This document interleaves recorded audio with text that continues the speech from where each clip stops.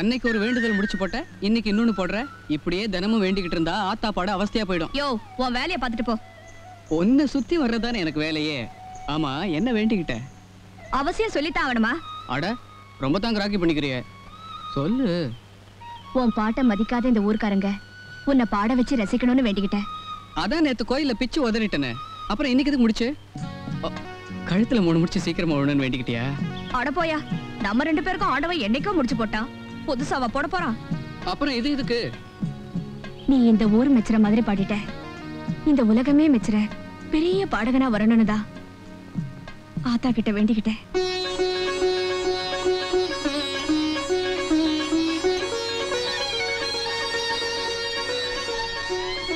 ஆத்தா ஆக்குறாளோ இல்லையோ? உன் நம்பிக்கை நிச்சயமா என்ன பெரிய பாடகனா ஆக்கும். கௌரி உன் நம்பிக்கையில தான் எனக்கு பாட்டே பிறக்கும்.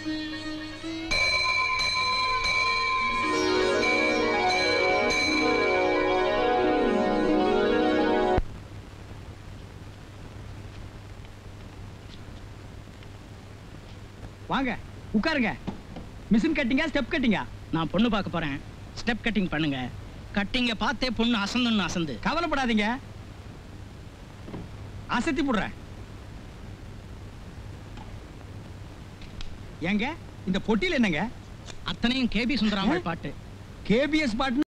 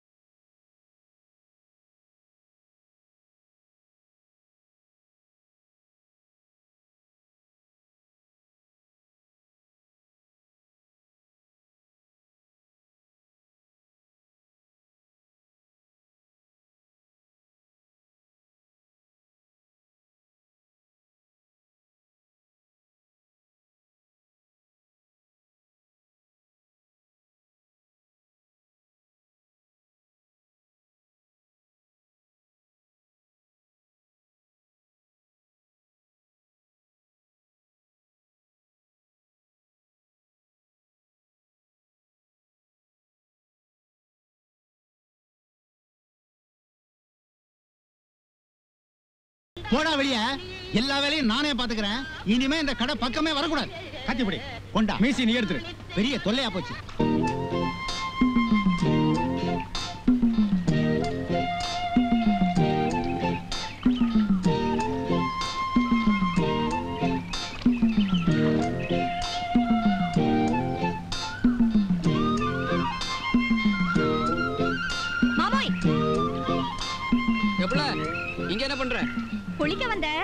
சரி கையோட நாலு கெண்ட மீன் புடிச்சிட்டு போனா அப்பனுக்கு ஆக்கி போடலாமேன்னு பார்த்தேன். ரெண்டு தான் கிடைச்சது. வந்தரு கைப்பிடிய. கை வேணா பிடிக்கிறேன். ஆனா உங்க அப்பனுக்காக மீனெல்லாம் பிடிக்க முடியாது. ரொம்ப தான் சுழிச்சுக்கிறிய. உனக்கு வேணா நாலு மீன் சுட்டு தரேன். வெட்டிக்க. வாயாண்ணா வாயா. என்னது? இந்தா இத பிடிச்சுக்க. புடியா? இந்த மாதிரி நாம இருக்கிறத யாராவது பார்த்தா உங்க அப்பா கிட்ட பத்த வைக்க மாட்டாங்க? பத்த வச்சா? ஆள் பார்த்து நாள் பார்த்து கல்யாணம் பண்ணி வைக்க போறாங்க. ஆமா உன்னை யாருக்கோ கட்டி வைக்க போறாங்க. போயா உனக்கு ஒண்ணும் தெரியாது. உன் பரளிக்கண் அங்கெல்லாம் ஏன் பாக்குது? ஒழுங்கா மீனை பாரு. உன் முகத்துல ரெண்டு கெண்ட மீன் துள்ளி விளையாடுது. அதை பார்க்கலாம்ல?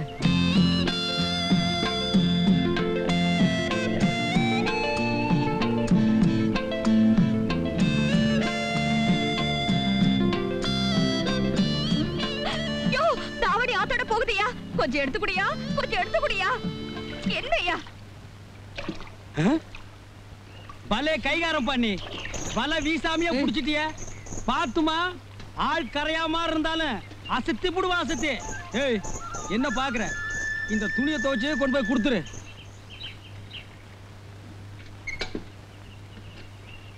இந்த ஊர்லயே முதல் சம்சாரம் செத்ததுக்கு அப்புறம் ரெண்டாம் தாரம் கல்யாணம் பண்ணிக்காம இருக்கிறது நீங்க ஒருத்தர் தாங்க. எல்லாம் என் பொண்ணுக்காகத்தான்டா. அவளை என் மார்லையும் தோல்லையும் சுமந்து வளர்த்துருக்கேன். நீங்க ஒரு குரங்கு மாதிரிங்க. குரங்கு தான் குட்டி அடி வயித்துல கட்டிட்டு காப்பாத்தும். அது மாதிரி நீங்க கௌரிய கஷ்டப்பட்டு காப்பாத்துறீங்க. கல்யாணம் பண்ணதுக்கு அப்புறம் புருஷன் கூட போயிருமில்ல? அதுக்காகத்தான் வீட்டோட இருக்கிற மாப்பிள்ளையா பார்த்துட்டு இருக்கேன் அப்ப மாப்பிள்ளை நொண்டியா தான் இருக்கணும். ஏய். பின்ன வீட்டோட மாப்பிள்ளைன்னா எப்படிங்க? எங்க நம்ம சங்கர் முறை மாப்பிள்ளை தானே? அவரு கல்யாணம் பண்ணி வச்சுட்டு என்ன? கத்தியாடுற. அந்த வெறும்பேலுக்கு கட்டி வைக்கிறதுக்காக என் பொண்ணை வளர்த்து ஆளாக்கியிருக்கேன். சுயமா ஒரு கால் ஏக்கர் நிலம் வாங்க முடியல. சொந்தத்துல எனக்கு மாப்பிள்ளை தேவையில்லை. சொத்து இருக்கிறவன் தான் என் பொண்ணுக்கு புருஷனா வரணும். வரட்டும். நானா வேணாங்கிறேன்.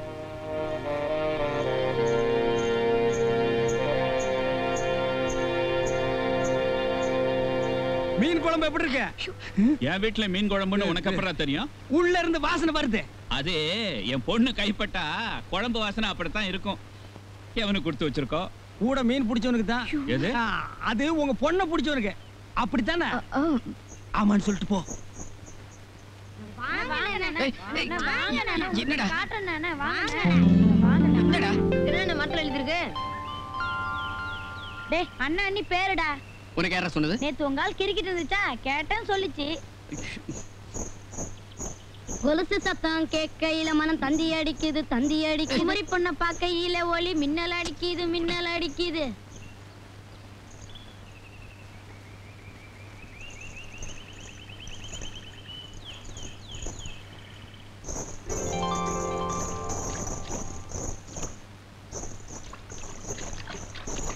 எத்தனை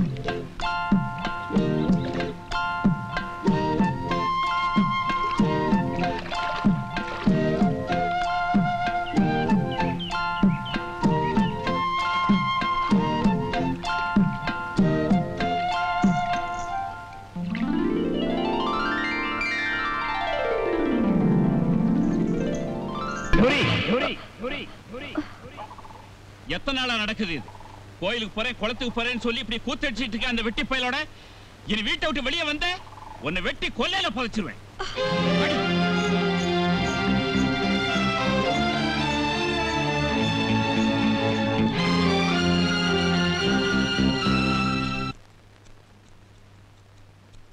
நான் அம்சதுரை ராகம் பாடணும்னா கிருஷ்ணன் புல்லாங்குழல் வாச்சுன்னு ஆடு மாடுகள்லாம் வர்ற மாதிரி ஊர் ஜனங்கள்லாம் என் பின்னாடி வருவாங்க.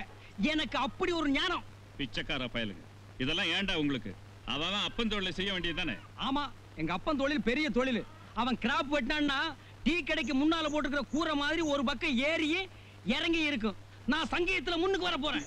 ம் சங்கீதம் சங்கீதம்னு சோத்துக்கு தாளம் போட போறடா. இந்த பாருங்க தாளம் போட்டு தான் ரொம்ப பேர் சாப்பிடுறாங்க. நீ திருந்தவே போறதில்ல. நீங்க திருந்திட்டீங்கல்ல? வெட்டியாச்சு போய் குளிங்க. சரியா வெட்டினியாடா? இனிமே வெட்டணும்னா மம்புட்டி எடுத்து தான் வெட்டணும்.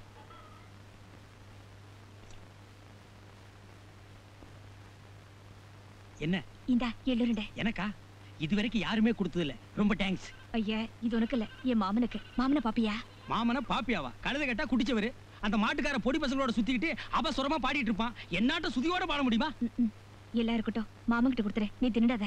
ஆமா இது பெரிய சத்துணவு. நான் திங்கிறதுக்கு. இதைத்தான் கடை கடை விக்கிறாங்களே. வாங்கி தின்னுக்க மாட்டானா? இது என் கையால செஞ்சது. மச்சான பாப்பீங்களே மாமர தோப்புக்குள்ளேன்னு உன் கௌரி தான் இதை கொடுத்து அனுப்பிச்சது. கௌரியா எங்க பார்த்த? ரெட்டியாருக்கு சவரம் பண்ண போயிருந்தேன் அப்ப கொடுத்துச்சு. நீ இதை சாப்பிட வேணாம் இது எள்ளூருண்டையா கல்லூருண்டையான்னு எனக்கு தெரியல. இந்தா இதையும் சாப்பிடு. எனக்கு ஒரு உதவி செய்வியா? சேவிங்கா கட்டிங்க? இல்ல. மொட்டையா? இல்லையா. கௌரிய கொஞ்சம் ஆத்து பக்கம் வர சொல்றியா? என் தொழிலையே மாத்திரியே இப்படி சொன்னா எப்படி? கொஞ்சம் காதல் சேவையும் செய்யறது. எனக்கு சேவிங் செஞ்சு தான் பழக்கம். சேவை செஞ்சு பழக்கம் இல்ல. புண்ணியம் கிடைக்கும்னு சொல்ற. சரி செய்யறேன்.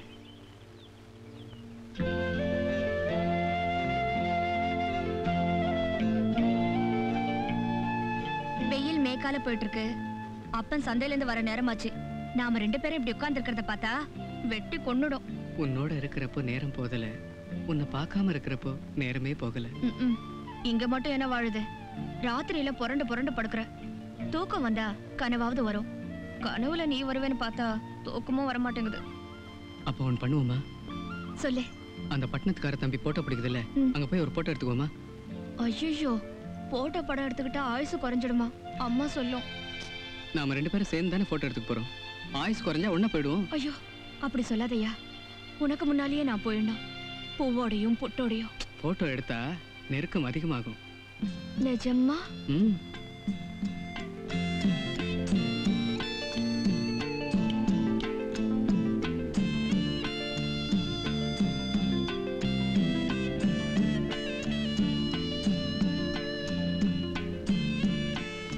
அப்பனுக்கு தெரிஞ்சா கொன்னே போடுவா. தெரிஞ்சா தெரிஞ்சுட்டு போட்டா அதுக்கு நான் என்ன பண்றது? சரியான ஆளியா நீ? அண்ணா உங்க பாட்டியை மாடு முட்டிடுச்சா?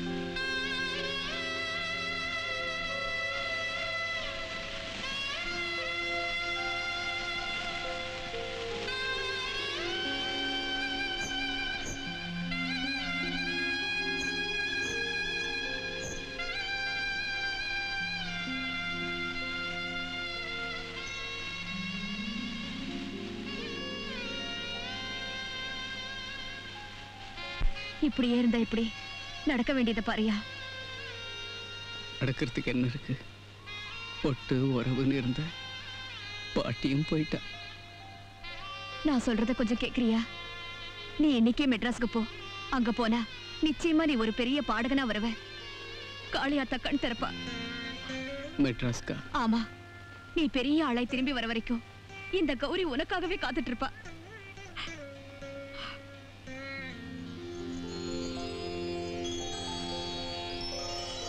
இந்தாயா இத வச்சுக்க. இதுல கொஞ்சம் பணமும் இருக்கு. நீ இன்னைக்கே மெட்ராஸ்க்கு புறப்பட. கௌரி உன்னை விட்டுட்டு ஆட போயா. ஓ நினப்புல ஒரு ஜென்மத்தையே ஓட்டிடுவேன் கௌரி இனிமே இந்த கொலுசு சத்தம்தான் என் பாட்டுக்கு தாளம் ஜீவன் எல்லாம். இத பாரு.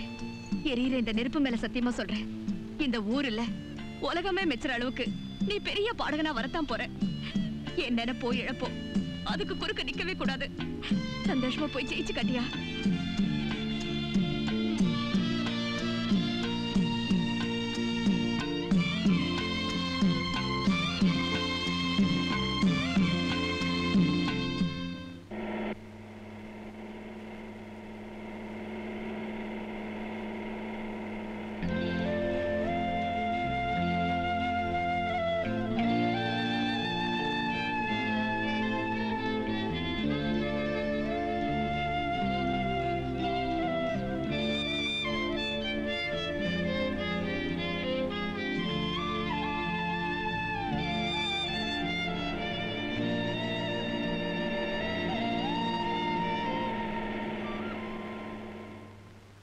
இந்தாப்பா பட்னம் வந்தாச்சு இறங்க.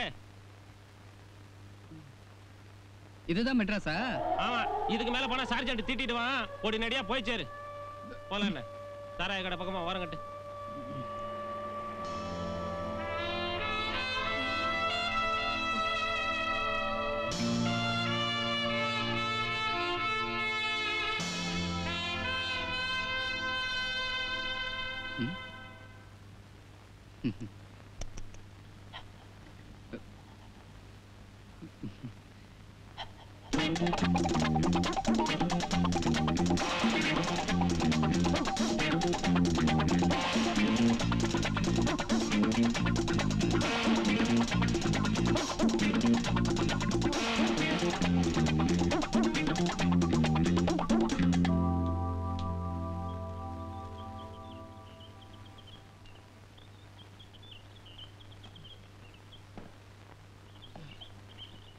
ஏங்க கொஞ்சம் குடிக்க தண்ணி கிடைக்குமா?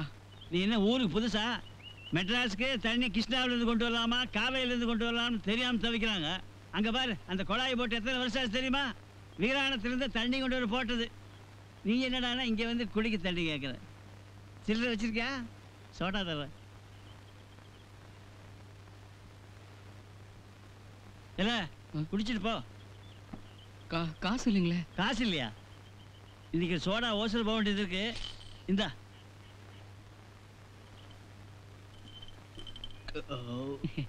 பன்னீர் சோடா இல்லைங்களா?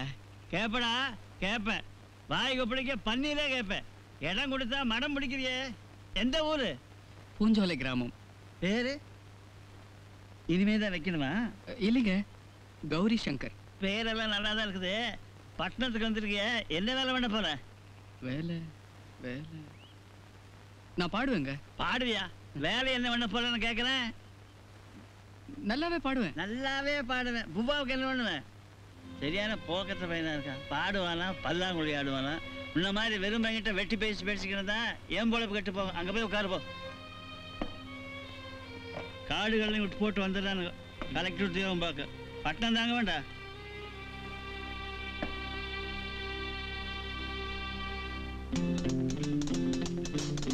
ஆரம்பிச்சிருவீங்களே. போர்டு மாட்டியாச்சு. கட்சி கொடி பறக்க வச்சு சங்கம் ஆரம்பிச்சிருவீங்க. குழாய்க்கு உரிமை கொண்டாடி போராடுவீங்க. கோர்ட்டு வரைக்கும் கூட்டிகிட்டு போகிறதுக்கு தான் ஆள் இருக்குது இல்லை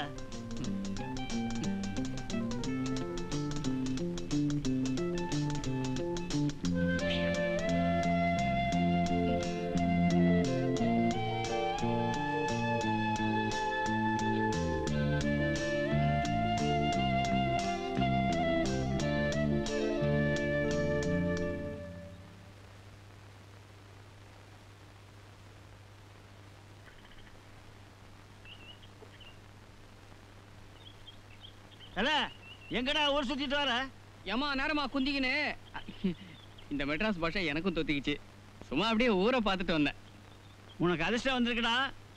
இளையராஜாவோட மேனேஜரோ அசிஸ்டண்டோ கல்யாணம் கல்யாணம்னு வந்துட்டு போனாரு. அந்த ஆளு உன்னை ஸ்டுடியோ குறை சொல்லியிருக்காரு. உன்னை சினிமாவில் பாட வைக்க போறாரா இளையராஜா லெட்டர் கொடுத்துட்டு இருக்காரு.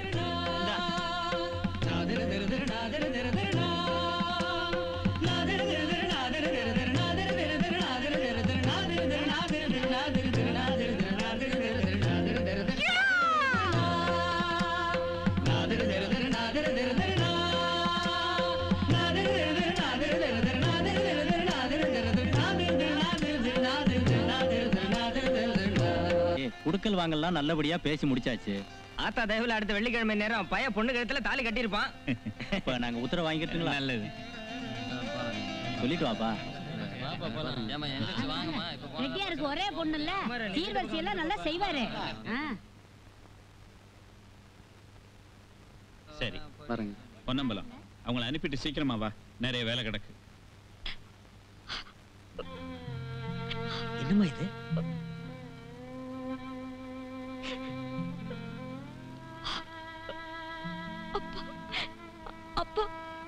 எனக்கு மாப்பிள்ளை பார்த்து நிச்சயம் பண்ணிருக்காரு.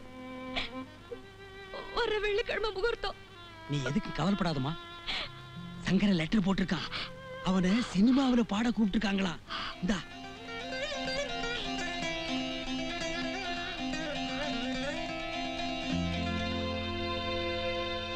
அடா லோகு நீ எப்போ வந்த? ரெண்டு நாள் கழிச்சு வாடா முடி வெட்டிக்கணும். வெள்ளிக்கிழமை நம்ம கௌரி கல்யாணம் இல்ல. உன் சட்டை வெட்டி சகலம் வாங்க சொல்லியிருக்கேன். மாப்பிள துபாயில வேலை பார்க்கறான். மாசம் ரெண்டாயிரம் ரூபாய் சம்பளம். தாலி கட்டின உடனே பொண்ணை துபாய்க்கு கூட்டிட்டு போயிடுறான். இருந்தாலும் முதலாளி கௌரி மனசுக்கு பிடிச்சிருக்கணும்ல.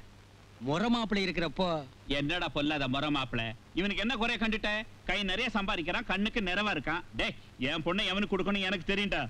கையில துட்டு இருந்தா போறாது. ஏலே எனக்கே புத்தி சொல்ல வேண்டியாடா இவனை. போய் அந்த சாமி கண்ணை அனுப்பி வை வீட்டுக்கு வெள்ளை அடிக்கணும். முதல்ல உங்க மனசுக்கு வெள்ளை அடிங்க. இந்த கல்யாணம் எப்படி நடக்குதுன்னு பாக்குறேன்.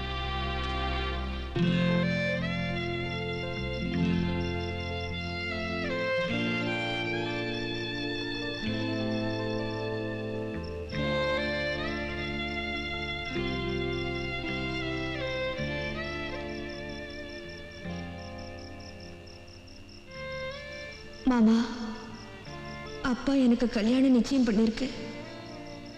எனக்கு என்ன பண்றதுன்னே புரியல. வாழ்ந்தா உன் கூட தான் வாழ முடியும். யாருக்கும் தெரியாம மெட்ராஸ்க்கு புறப்பட்டு வர. எனக்கு வழி தெரியாது.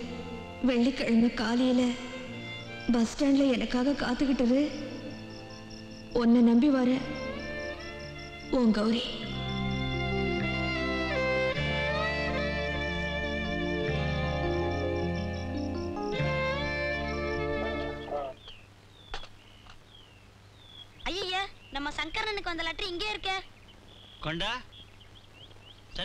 அவன் குளிக்க போயிருக்கான். இதை கொண்டு போய் சட்டையை வச்சுட்டு ஒரு அஞ்சு கோழி வெத்தலை வாங்கிட்டு சீக்கிரம் ஓடியாடா.